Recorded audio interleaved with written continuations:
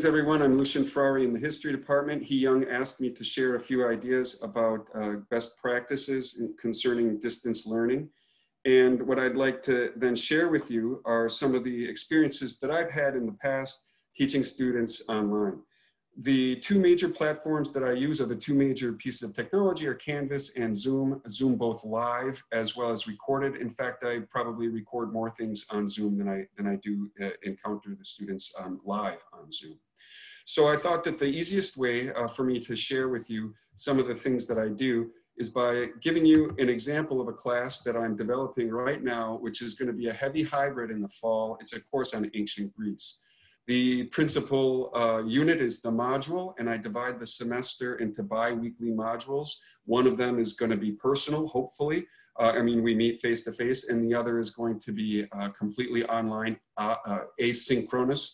Um, and uh, that means that there are about 27 or so modules, of course, the, across the, the semester, which is about 13 weeks. I start off with an icebreaker and uh, when you go to uh, the, uh, the various elements underneath the module, you see I, I, use a technology called Cidi Labs. I think it's still called Cidi Labs.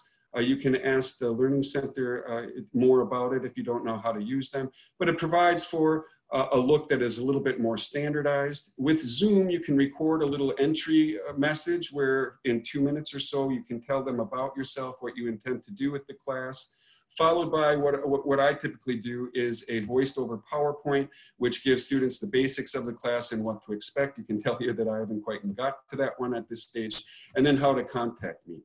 Um, now, if we can go to a typical uh, module, if you scroll down here, I'll show you one that I have been working on in the past couple of days. Um, this one is called uh, Archaic Greece, Politics and Society. And if you click on there, um, I give some sort of expectation of what they're going to be learning. Um, and this is then followed by a Zoom, uh, maybe 15 minute video lecture. And uh, what I'm able to do with uh, Zoom is to then split the screen like we're doing right now.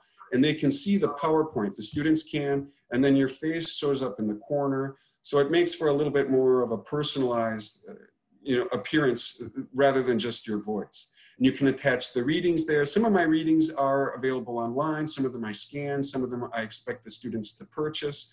And what I've also been doing recently is adding supplemental materials. This can be music, this can be videos.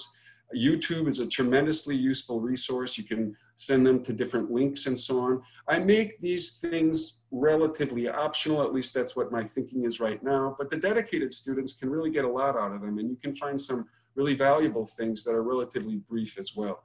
Uh, now, in terms of evaluation, Canvas has pros and cons. The discussion forums work pretty well. I'm imagining that many of you know that already.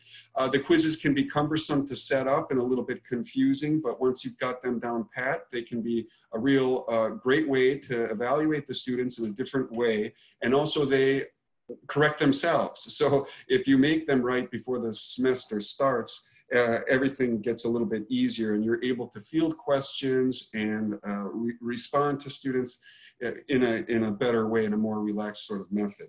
Um, so I believe in preparation as much as you can before the semester begins because then you can really focus in on any problems that might arise, responding to emails, giving them good feedback on their assignments. So setting up things are important. And uh, one thing too that helps when the semester starts is having good announcements. Little uh, prompts, maybe 24 hours before an evaluation or before important reading or exercise.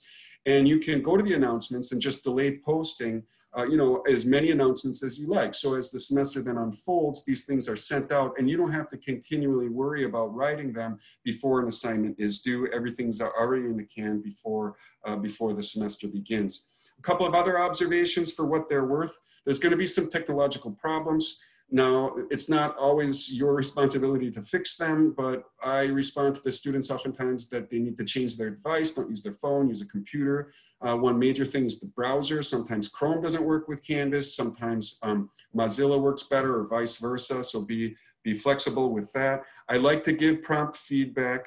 Um, now, also when the students miss uh, work or they're late on assignments, this is an important opportunity to respond to them uh, rapidly. And I like to have an, an, email trail when the students at the end of the semester say, well, I've missed all these three assignments. Can I get an opportunity to make them up? And I said, well, listen, you know, I, I have given you all kinds of reminders and you never bothered to reply to me. Or, you know, sometimes you really save the student and hopefully most of the time that's, that's what takes place. So advanced preparation, uh, really working with uh, the Canvas modules. Uh, those are some of my major observations. Uh, Zoom is just a, a, really tremendously useful resource where you can do uh, split screens and stuff like that.